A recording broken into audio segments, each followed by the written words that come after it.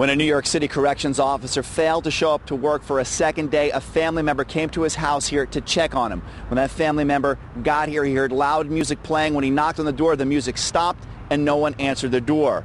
And he immediately called 911. When police arrived, they surrounded the house and were planning on using force to enter. When out walked a 25 year old man who lives here smoking a cigarette. Inside the house, two men were found dead, one believed to be the corrections officer, the other believed to be his father. The two were in separate parts of the house. What caused their deaths is not yet known. Police are questioning the 25 year old who was inside the house.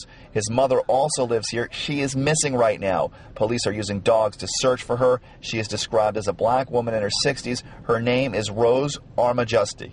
Also missing is a gray 1998 Lexus. Neighbors say the last time they saw the mother was on Saturday. If anyone knows where she is or where that car is, they're urged to call police. In Elmont, Rob Hoyle, Pix 11 News.